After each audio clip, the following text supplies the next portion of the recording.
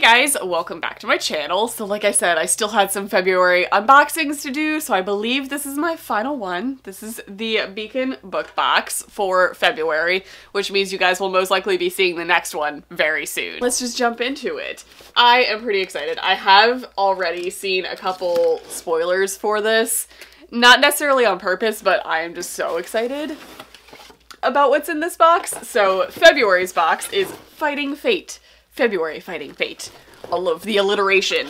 So let's jump into this. We'll put the little card up there and let's see. We have some bubble wrap and this is what I've seen the spoiler thing for. Ah, it's so pretty. This is one of their campfire mugs. Um, these are huge mugs. I don't know if I can really like show size comparison. I have a tiny noggin, but this is Serpent and Dove inspired and it said, our lives reflect our hearts by Shelby Mahurin. And it's so cute and so pretty and I love this color. It's like a dark maroon color and it just looks like that. Oh, so excited. These are like the best size mugs. Like you can eat soup out of this mug. It's so beautiful. I love these mugs so much. So that's pretty much what I was really excited about. That's the only spoiler that I saw for this box, and I was like, it's perfect. I love it. I love Serpent and Dove.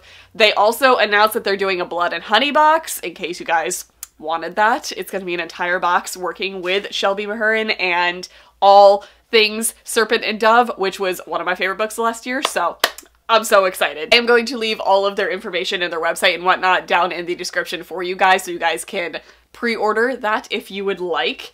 Let's get rid of this bubble wrap. Oh, that's dangerous. I don't know where Cricket is, but I'm sure she will appear momentarily for the bubble wrap. Next thing is what they are doing all year long. A lot of you guys informed me, and they themselves informed me that they are doing, ooh, I love this. They are doing um, an entire collection of glass ornaments all year long. So this is going to fit right in with the collection. This is obviously Witcher inspired, which is so perfect. I did just binge through The Witcher last month, two months ago. When did I watch The Witcher? Last month, I want to say. And I love it so much. So this one is obviously Witcher inspired. We have the like sigils that you see, you know, at like the opening credits where they put them in and it's from the game and all of the things. Okay, the next thing is adorable. Oh, are these post-its? This is so cute. The next thing is this little teeny tiny book and it has post-its in it. And this is from The Cruel Prince.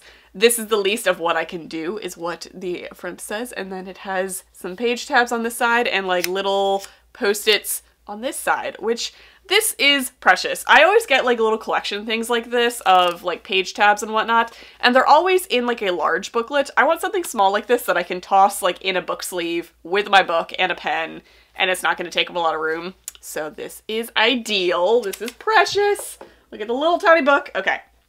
Next is, I'm guessing this is tea, and it is Strange the Dreamer inspired. This is Lazlo the Dreamer. It's coffee. It is not tea. I am mistaken. Coffee by Caribrew, which I've gotten from them before, and this looks like it's falling kind of in the middle of the light to dark range. So it doesn't have any sort of description other than like what type of brew it is, so I'm guessing it's not any sort of flavor. I think it's just gonna be a straight coffee, which I appreciate as an avid coffee drinker. Um, and there is a coupon code on the back for 15% off. It's box 15. I'll put it on the screen if you guys would like to partake in that. Next, we are down to the book sleeve, which contains the book. So obviously this was the February box, so this is a very fitting Valentine's Day fabric as well.